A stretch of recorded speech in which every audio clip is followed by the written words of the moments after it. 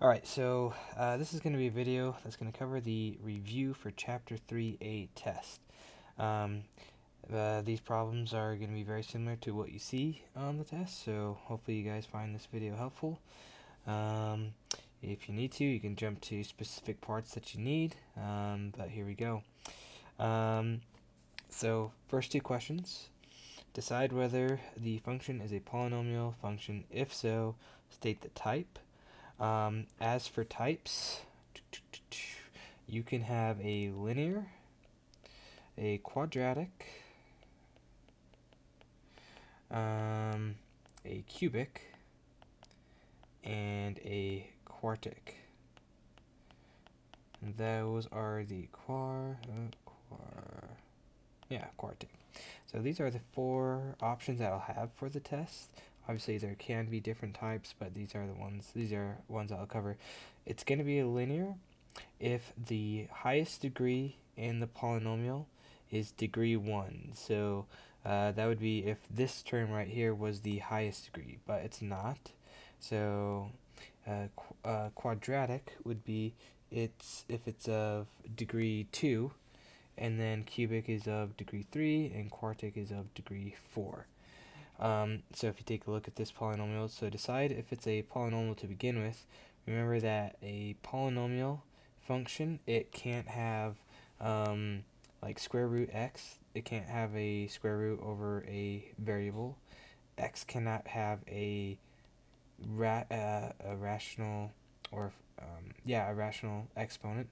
x cannot have a negative exponent and x cannot be in the denominator. Those are some things that are not polynomials. So in this case right here, if you look at any term with an x, it doesn't um, uh, violate any of those rules, so we are good. This is a polynomial.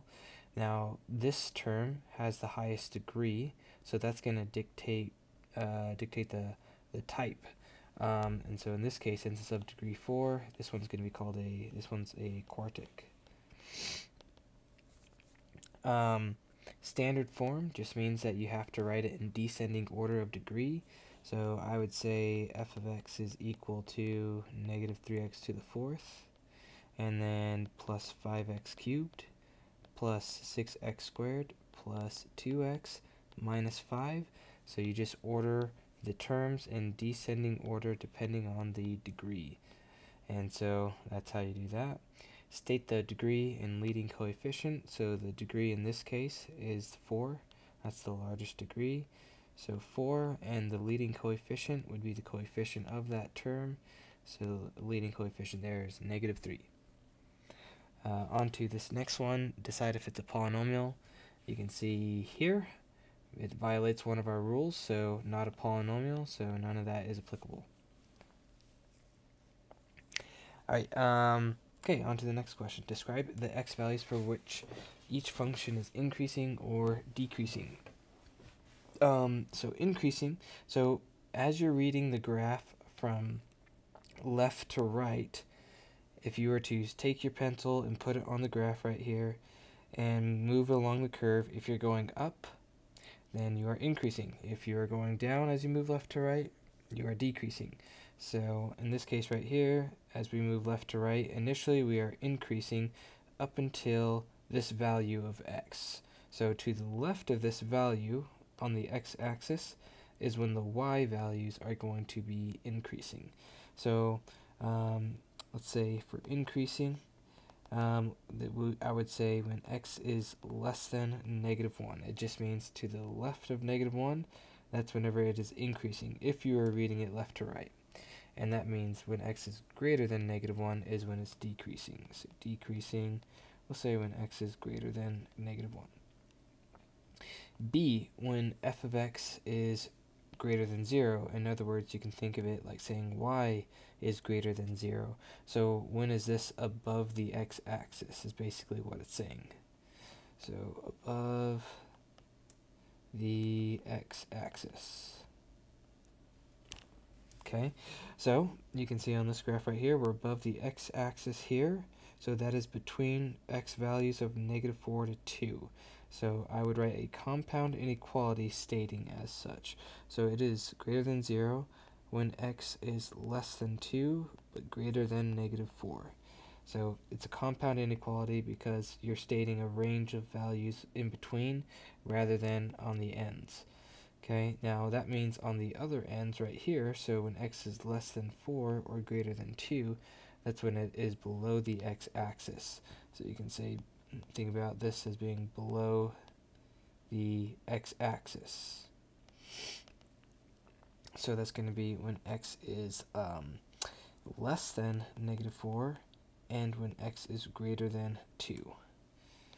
Greater than 2, less than 4, it's going to be below the x-axis. Alright, uh, for the next one here, so increasing and decreasing. So increasing, that's whenever you're reading it left to right. So that would be right here. If you look at that x value, that's when x is greater than 3. So when x is greater than 3, that means it's decreasing when x is less than 3. Uh, for part B, um, above the x-axis, so there are two intervals where it's above the x-axis, right here and right here. So that's going to be when x is less than negative 1, as well as when x is greater than 7. And that means in between those values is where we are below the x-axis right here. We're below the x-axis between those values. I would write a compound inequality, so between 7 and negative 1. Alright, simplify each expression. Um, I'm probably going to keep this quite uh, limited, so uh, because these are generally easy problems. All you have to do is combine like terms, so let's start with this one right here. So we're going to add these two. So I have a 6m cubed, and in this other one I have a negative 6m cubed. So it's just about combining like terms. Those are going to cancel. Okay. We have, uh, let's see, we have 3 and we have negative 6. So we can combine those together. That would be negative 3, because 3 minus 6 is negative 3. 7m to the fifth, and then negative m to the fifth. Those are like terms because they have the same degree same variable too. So positive 7m minus 5m, that's going to give you positive 2m to the fifth. It does say to write your answer in standard form, so that would be that would be 2m to the fifth minus 3. So that's what you'll do in 7. You're just going to combine like terms. I'm going to jump over to 6. So for 6 right here, you are subtracting, you'll do the same in 8. So it's kind of similar. There's just one little thing you have to do. The, three, the negative has to be distributed to all terms. So you still have the negative 2m cubed plus 7m to the fourth plus 7m to the fifth. So the first polynomial will remain the same, but you got to flip the signs of all other terms to the right. So plus 8m to the fourth. And now it's a game of just combining like terms. So we have 7m to the fifth and negative 5m to the fifth, so we'll say 2m to the fifth. We have, um, so those are uh, out. We have 7m to the fourth, 8m to the fourth. Add those together, you get 15m to the fourth. Okay, so that's gone, that's gone, that's gone, that's gone. Then we got negative 3, uh, negative 2m cubed. Well, uh, those don't combine but they have nothing to combine with. So we'll just uh, write them in descending order, and there you go. Okay, um, so you'll do the same thing for 7, 8 with addition, subtraction. Really, nothing too crazy there. Okay, to the next page, find each uh, product. So each product, um, uh, yeah, so this is just a FOIL method. You can use FOIL, you can use table method. I'm going to use FOIL. So 5a times by uh, 8a, so 5 times by 8 is going to be 40. So 40, a times by a is a squared. 5a times by b is going to be plus 5ab. 4b times by 8b, so that's going to be equal to 32. 32ab, and then 4b times by b is going to be 4b squared. Don't forget to combine like terms if you can. So 40, uh, 40 a squared plus 37ab plus 4b squared. Okay, um, on to the next one. Nothing really crazy here, but this is a, pattern because they have the same um, same terms, just different sign, but you can still just use FOIL method. 4b times 4a times 4a is 16a squared. 4a times by 2b is 8ab. And then you'll do negative 2b times by 4a. If you uh, multiply those together, you'll get um, negative 8ab, and then negative 2b times positive 2b is minus 4b squared. You can see that those cancel out, so you get 16a squared minus 4b squared, and there you go. For the next one, same deal, I'm just going to FOIL, so 2n times by 8n squared, 16n to the third. Um, 2n times by 6n is going to be positive 12n squared. 2n times by negative 1 is negative 2n. Negative 7 times by 8n, uh, I think that's going to be uh, 50, so negative 56n squared. So I'm going to put that right here so that I line up like terms. I'm going to stack them vertically, so negative 7 times by, by um, uh, 6n is going to be uh, negative 42 negative 42n so I'm going to write that beneath this one right here because they're like terms. Negative 7 times negative 1 is positive 7 so when I add them I get 16n cubed. I got negative 56 plus 12 that's going to be negative 44n squared. I got negative 2n and negative 42n that's going to be negative 44n and then plus 7 and there you go um, for the next one, um, I'm going to start by multiplying these two first, and then I'm going to multiply the product of that by x minus 1. So x times by 2, x squared, that's 2x cubed. x times by 3 is 3x. Negative 7 times by 2x squared is negative 14x squared. Negative 7 times 3 is negative 21. So I have 2x cubed minus 14x squared plus 3x minus 21. I'm just going to write it in standard form and then I'm going to multiply this by x minus 1. So 2x cubed times by x, that's going to be 2x to the fourth. 2x cubed times by negative 1 is negative 2x cubed. Okay, and then negative 14x squared times by x is negative 14x cubed. Um, yeah, negative 14 x squared times by negative 2 is positive 14 x squared. 3x times by x is positive 3x squared. 3x times by negative 1 is negative 3x. Negative 21 times by x is negative 21x. Negative 21 times by negative 1 is plus 21. And now we just have to combine like terms. So all the like terms are grouped up right here, squared, squared, so on and so forth. So we're going to have 2x to the fourth minus 16x to the third plus 17x squared minus 24x mm, plus 21. And there you go. Okay, so that's all just multiplying polynomials for this next one. Sketch the general shape of each function use a table and end behavior and describe the end behavior. So uh, as far as sketching goes, um, well, let's uh, let's do the end behavior. So this is an odd degree. So this is uh, odd, and the leading coefficient is positive. So if you have an odd degree, leading coefficient is positive, it should take on the form, uh, that's kind of exaggerated, but should go down on the left side. It doesn't really happen uh, matter what happens in the middle, but then on the right side it's going to go up. So this tells me as x approaches positive infinity, infinity. This means right.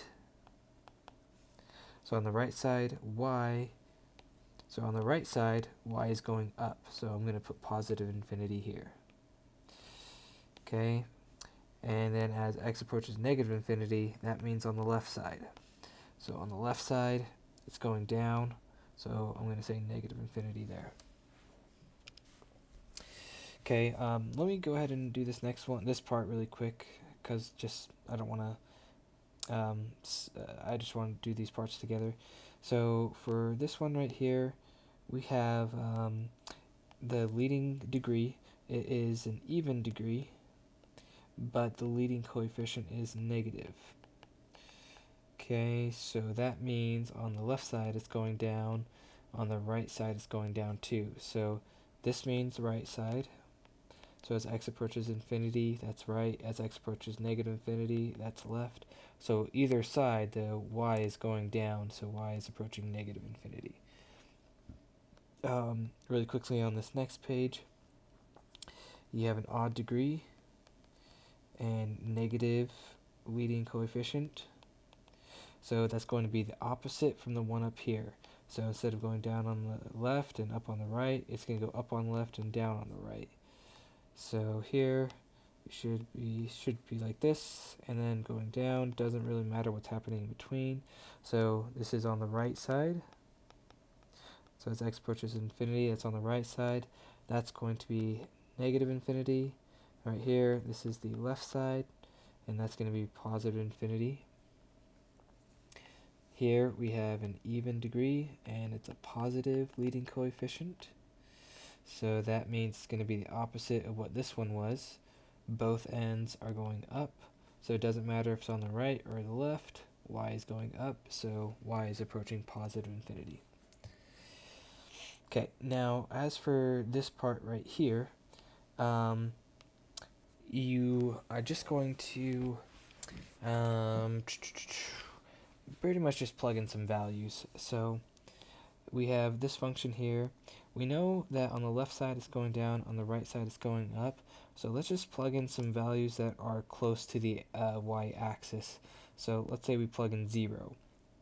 If I plug 0 into this term, it's going to go away because 0 cubed is 0.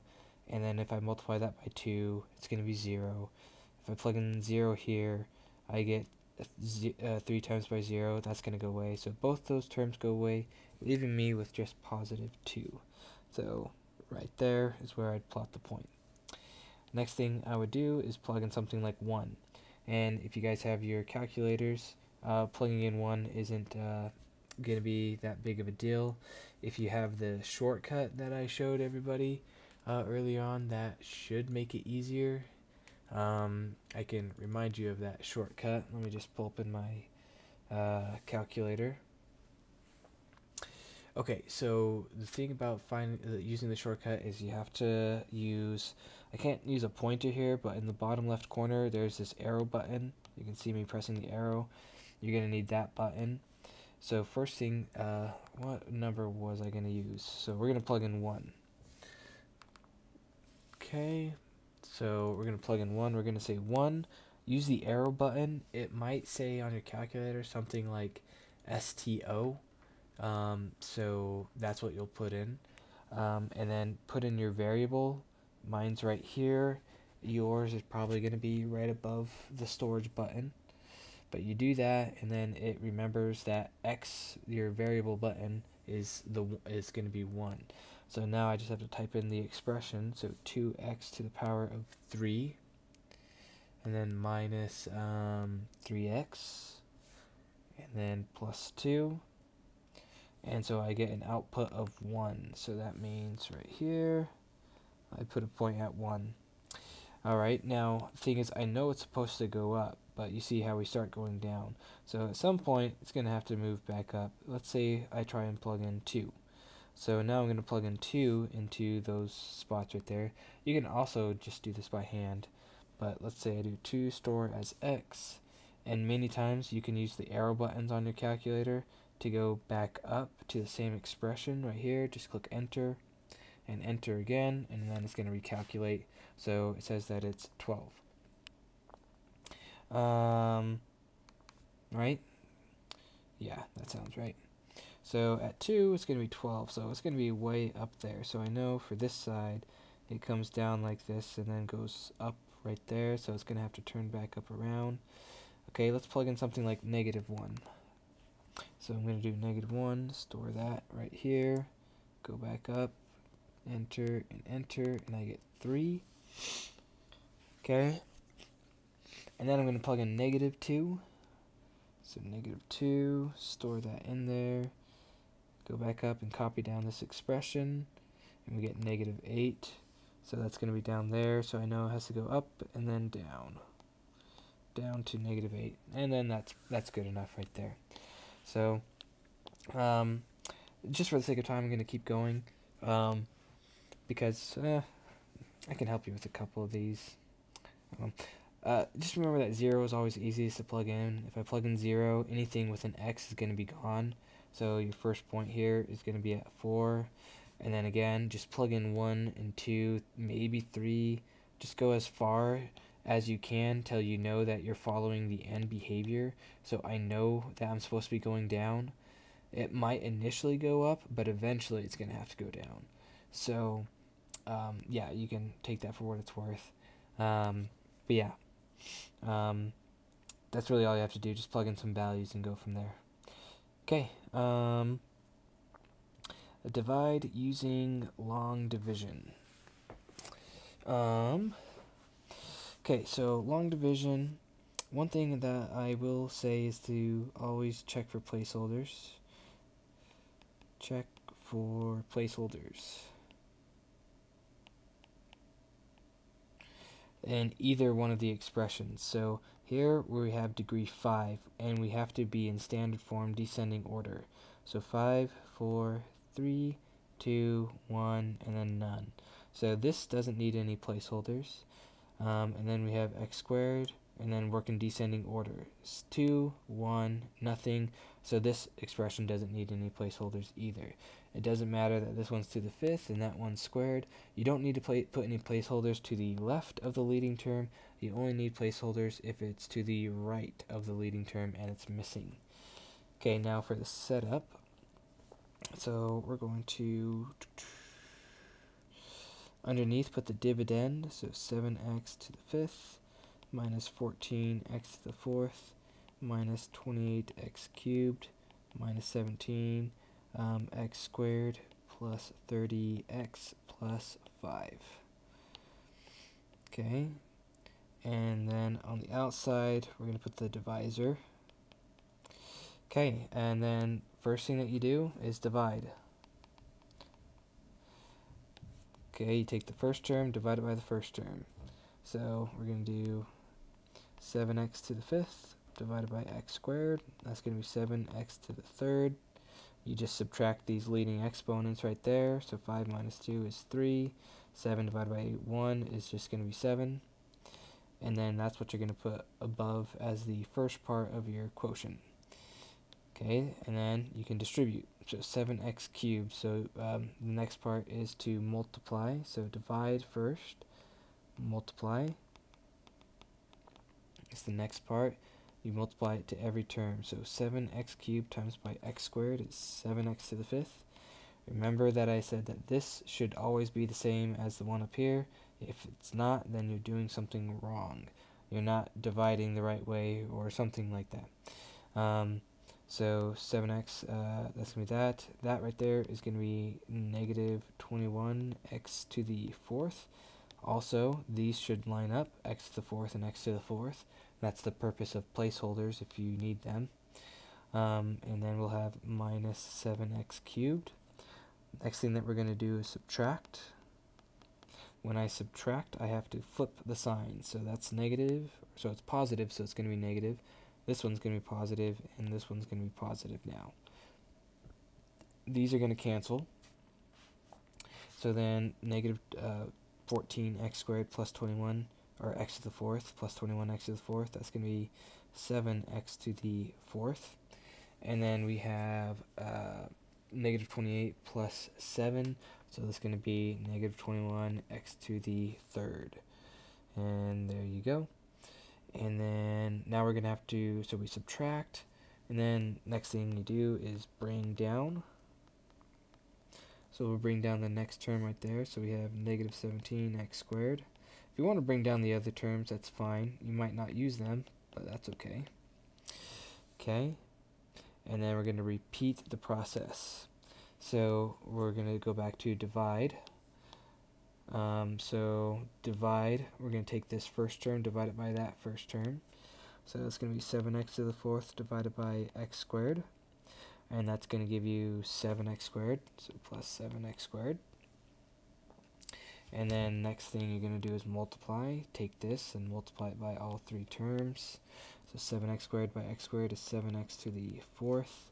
7x squared times by negative 3x is going to be negative 21x uh, cubed. 7 times by negative 1 is negative 7x squared. Then we're going to subtract them, which means I flip the signs. So those are going to cancel. And they should always cancel. If they're not canceling, you're doing something wrong. These don't have to cancel, but in this case they will cancel. Um, and then we're going to have 17x squared, so that's going to be negative 10x squared. Bring down the other terms. Okay. And start the process over. So we're going to do negative 10x squared divided by x squared. So negative 10x squared divided by x squared. That's just going to cancel out the x squareds and it's going to give you negative 10. So negative 10 is what's going to go here. And then you distribute. So negative 10. So it's going to give you negative 10x squared. Uh, it's going to give you negative 30x. And it's going to give you plus 10. And then we are going to flip the signs. And this can become negative. Those are going to cancel. Those are going to, no, those don't cancel. Uh, that's going to give you 60x. And then that's going to give you minus 5 and this is where you stop. So your quotient ends with a constant or another or if you want to try it again so if you do 60x divided by x squared the problem with this is that the degree in the numerator is uh, smaller than the degree in the denominator which doesn't really work out for polynomials because you can't have that in polynomials. So um, that's how you know you've kind of reached the end Okay, so then your answer will be 7x cubed plus 7x squared minus 10 plus 60x minus 5 all over the divisor. So that's x squared minus 3x minus 1. And there you go. That's that. Okay, let's give um, this one a go. I'll probably stop after this one and make another video for the rest. Okay, so here, um, make sure we don't need placeholders. We have 5, 4, 3, 2, 1, 0. And then 1 and 0, so we're good. Um, Alright, I'll go, I'm probably going to do this one a little bit more quickly. Okay, I'm also probably going to move this over here. Give myself more room. Okay, so we have 4x plus 3. We have 20x to the fifth plus 7x to the fourth plus 22x cubed minus 11x squared minus 4x plus 13. I think I got everything correct when I copied it down. Okay, so I'll do 20x to the fifth, divide that by 4x. So 20 divided by 4 is going to be 5, and then x to the fifth divided by x is x to the fourth. So 5x to the fourth. Okay, so this divided uh, times by that, that's going to give you 20x to the fifth. And then 5x to the fourth times by 3 is going to be plus 15 um, x to the fourth. I subtract them by flipping their signs. Those are going to cancel. And then I'm going to get, um, is that negative 8x to the fourth, I believe. Okay, and then you're going to repeat the process. Um,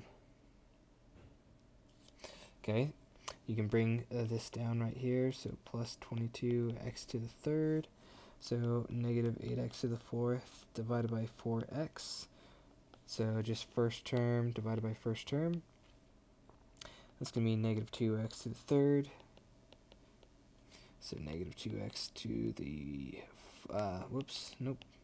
I'm going to take this and multiply it by both terms out here.